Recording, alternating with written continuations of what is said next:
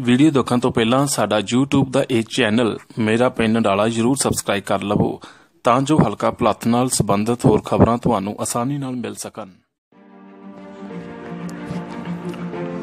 ਅੱਜ ਪੂਰਾ ਭਾਰਤ ਆਪਣੀ ਆਜ਼ਾਦੀ ਦਾ 72ਵਾਂ ਦਿਵਸ ਮਨਾ ਰਿਹਾ ਹੈ। ਪਰ ਜਦ 1947 ਵਿੱਚ ਭਾਰਤ ਪਾਕ ਦੀ ਵੰਡ ਹੋਈ ਤਾਂ ਅਨੇਕਾਂ ਭਾਰਤੀ ਪਾਕਿਸਤਾਨ ਅਤੇ ਅਨੇਕਾਂ ਪਾਕਿਸਤਾਨੀ ਭਾਰਤ ਵਿੱਚ ਰਹਿ ਗਏ।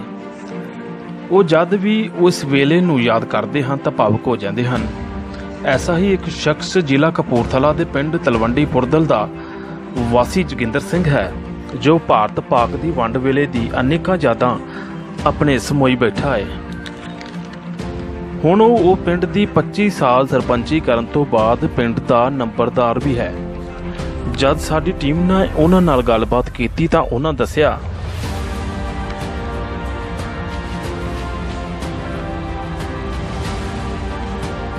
ਦੁਬਾਰਾ ਦੁਬਾਰਾ ਚਲੋ, ਮੈਂ ਪਾਕਿਸਤਾਨ 10 11 ਸਾਲ ਦਾ ਮੈਂ ਚਾਰ ਜਮਾਤਾਂ ਪੜ੍ਹ ਕੇ ਸਾਡੇ ਪਿੰਡ ਸਕੂਲ ਸੀ ਉਰਦੂ ਦਾ। ਮੈਂ ਸਾਰੇ ਲਾਣ ਦਾ ਸਪੈਸ਼ਪੋ ਦਾ ਪਰਿਵਾਰ ਆ ਸਾਡਾ। ਕੋਈ ਖੰਗਦਾ ਨਹੀਂ ਸਾਡੇ ਪਿੰਡ। ਇਹ ਧੀ ਪੈਣ ਦੀ ਇੱਜ਼ਤ ਵੇਖ ਕੇ ਆਖਣਾ, ਜਿਹਨੇ ਬੋਦਿਆਂ ਨੂੰ ਤੇਲ ਲੈ ਮਰ ਜੋ ਸਪੈਸ ਪਹੁੰਚਾ ਗਿਆ। ਉਹ ਇੱਥੇ ਤੋਂ ਲੁੱਟ ਬੱਚੀ ਆ।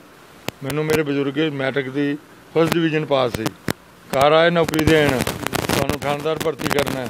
ਤੇ ਸਾਡੇ ਦਾਦੇ ਨੇ ਕਿਹਾ, ਅਸੀਂ ਤਾਂ ਆਪ ਨੌਕਰ ਰੱਖਨੇ ਆ। ਅਸੀਂ ਥਾਣੇਦਾਰੀ ਕੀ ਕਰਨੀ ਆ? ਹੁਣ ਤੇ ਭੈਣ ਲੱਖਾਂ ਰੁਪਏ ਲੈਂਦੇ ਲੋਕੀ।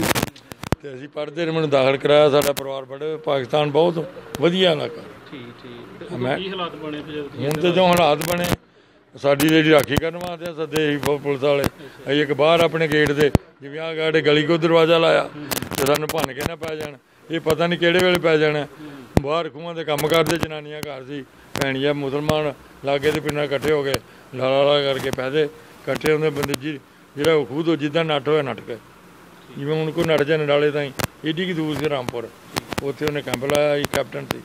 ਉਹਦੇ ਕਰਕੇ ਹੀ ਭੱਜ ਗਏ ਉਹਦੀ ਦੇਣ ਨਹੀਂ ਦੇ ਸਕਦੇ। ਤੇ ਰਹਿਣ ਸਹਿਣ ਕਿਦਾਂ ਦਾ ਸੀ ਤੂੰ? ਉਹਦੇ ਰਹਿਣ ਸਹਿਣ ਬਹੁਤ ਵਧੀਆ ਸੀ। ਭਾਈਚਾਰੇ ਦਾ ਕੀ? ਭਾਈਚਾਰਾ ਐਡਾ ਵਧੀਆ ਇੱਕ ਬੰਦੇ ਦੀ ਗੱਲ ਕੋ ਮੋੜਦਾ ਨਹੀਂ। ਸਾਡੇ ਦਾਦੇ ਨੂੰ ਜੋ ਗੱਲ ਕਹਦੇ ਸਾਰਾ ਪਿੰਡ ਨਹੀਂ ਮੋੜਦਾ। ਨਾ ਮੁਸਲਮਾਨ ਮੋੜਦੇ ਹੀ ਨਾ ਸਿੱਖ। ਪਰ ਇਹ ਤੇ ਹੁਣ ਜੀ ਆ ਗਿਆ ਨਾ। ਸਾਨੂੰ ਕਹਿੰਦੇ ਵੀ ਪਾਕਿਸਤਾਨ ਬਣ ਜਾਣੇ, ਅਖਬਾਰਾਂ ਪੜ੍ਹਦੇ, ਉਰਦੂ ਸੀ ਨਾ। ਜੇ ਕਹਿਣ ਸਾਡੀ ਪਤਾਲ ਜੜਾਂ ਨੇ, ਸਾਨੂੰ ਕਿਹੜਾ ਪੁੱਟ ਦੂ? ਤੇ ਮੈਂ ਯਾਰ, ਐਵੇਂ ਪੁੱਟੀ ਜਾਊਂਗਾ ਪੈ ਗਿਆ ਮੈਂ ਮੁਸਲਮਾਨ। ਜੇ ਕਿ ਤਾਰਾ ਸਿੰਘ ਨਾ ਮੰਨਦਾ, ਖਾਲਿਸਤਾਨ ਬਣ ਜਾਂਦਾ, ਇਹ ਨਹੀਂ ਤੇ ਉਤੋਂ ਅਜੇ ਇੱਕ ਗਲਤੀ ਮੁਸਲਮਾਨਾਂ ਕਰ ਲਈ। ਹੁਣ ਕਸ਼ਮੀਰ ਦੀ ਲੜਾਈ ਹੈ ਨਾ, ਅਸੀਂ ਲਾਹੌਰ ਮੰਗਦੇ ਸੀ। ਉਹ ਵੀ ਕਹਿੰਦੇ ਹਾਂ, ਲਾਹੌਰ ਲਿਜ਼ਲ ਲੈਣਾ ਲਾਹੌਰ ਉਹਨਾਂ ਲੈ ਲਿਆ, ਜੇ ਗੁਰਦਾਸਪੁਰ ਲੈ ਲੈਂਦੇ, ਤਾਂ ਕਸ਼ਮੀਰ ਉਹਨਾਂ ਦੇ ਸੀ। ਸਾਨੂੰ ਗੁਰਦਾਸਪੁਰ ਵਿੱਚ ਲੜਾਈ ਜਿਹੜੀ ਆ। ਲਾਹੌਰ ਚੰਗਾ ਸੀ ਨਾ, ਉਹ ਆ ਕੇ ਉਹਨਾਂ ਲਾਹੌਰ ਦੇ ਤਾਂ ਅੰਗਰੇਜ਼ਾਂ ਨੇ। ਤੇ ਸਾਨੂੰ ਉਹ ਲੈ ਗਿਆ ਜਵਾਹਰ ਲਾਲ ਤਾਰਾ ਸਿੰਘ ਨੂੰ। ਆ ਜੱਫੀ ਪਾ ਕੇ ਜੋ ਕਹੋਗੇ ਕਰਾਂਗੇ। ਤੇ ਰਿਆਸਤਾਂ ਜਿਹੜੀਆਂ ਆ, ਆਪਣਾ ਰਿਆਸਤ ਸੀ। ਆ ਜਲੰਧਰ ਸਾਨੂੰ ਦਾਣੇ ਨਹੀਂ ਵੇਚਣ ਜਾਣ ਦਿੰਦੇ। ਇਹ ਅੰਗਰੇਜ਼ੀ ਇਲਾਕਾ। ਹੈ। ਤੇ ਰਿਆਸਤਾਂ ਵਿੱਚ ਰਲਣੀਆਂ ਹਨ। ਇਹ ਦਿੰਦੇ ਮੁਆਵਜ਼ਾ ਬਿਆਨਾ।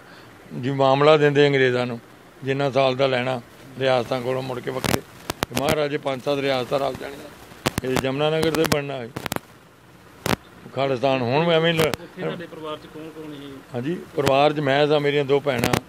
ਮੇਰਾ ਬਾਪ ਮੇਰਾ ਚਾਚਾ ਚਾਚੇ ਦੀ ਇੱਕ ਲੜਕੀ ਸੀ ਉਹਦੀ ਘਰ ਦੀ ਸਾਡੇ ਸਗੇ ਜਿਹੜੇ ਉਹਨਾਂ ਦੇ ਵੀ ਚਾਰ ਚਾਰ ਨਿਆਣੇ ਸੀ।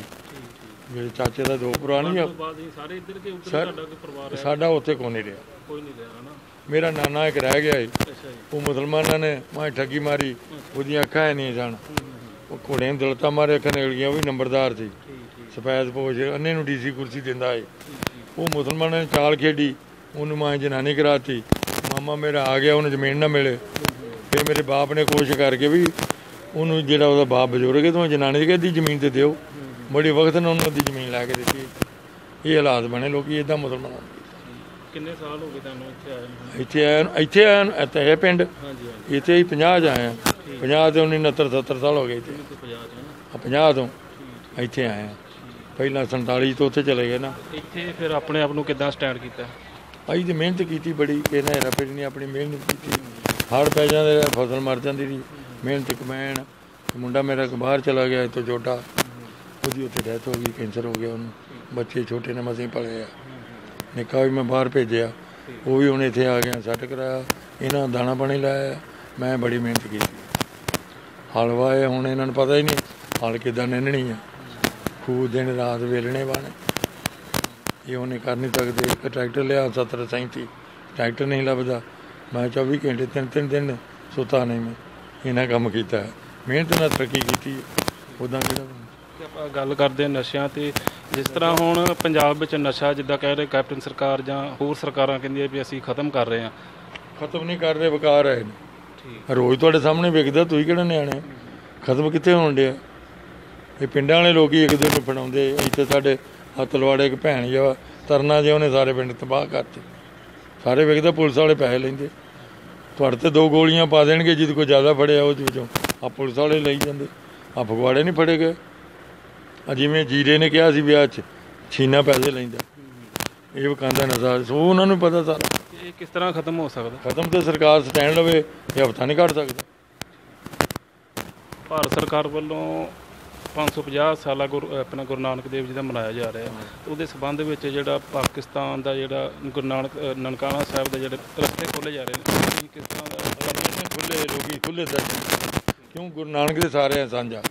ਹੁਣ ਮੰਨਦੇ ਮੁਸਲਮਾਨ ਨੇ ਤਾਂ ਹੀ ਦੇਣ ਲੱਗੇ ਕੁਝ ਕਰਕੇ। ਹੁਣ ਕਸ਼ਮੀਰ ਦਾ ਰੜਕਾ ਪੈ ਗਿਆ। ਹੁਣ ਕੀ ਪਤਾ ਕੀ ਬਣਦਾ ਲਾਂਘਾ ਬਣ ਜਾ। ਇਹ ਦਰਸ਼ਨ ਕਰਕੇ ਪਾਕਿਸਤਾਨ ਤੇ ਕਮਾਈ ਹੋਣੀ ਉੱਥੇ।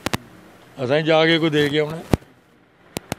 ਤੇ ਲੋਕਾਂ ਦੇ ਵੀ ਲੋਕੀ ਲੋਕੀ ਹੁਣ ਅਰਦਾਸ ਕਰਦੇ ਨੇ ਪੁਰਾਣੇ ਗੁਰਦੁਆਰੇ ਜੇ ਵਿਛੜੇ ਨੇ ਸਾਨੂੰ ਦਰਸ਼ਨ ਦਿਦਾਰੇ 72 ਸਾਲ ਹੋ ਗਏ ਅਰਦਾਸਾਂ ਕਰਦੇ ਪਰਮਾਤਮਾ ਸੁਣੇਗੇ। ਜੇਕਰ ਲਾਂਗਾ ਲਾਂਗਾ ਹੋਏ ਨੇ ਉਹ ਕਿਸੇ ਕੌਮ ਨਾਲ ਨਹੀਂ ਮਾੜਾ ਉਹਨਾਂ ਕੀਤਾ।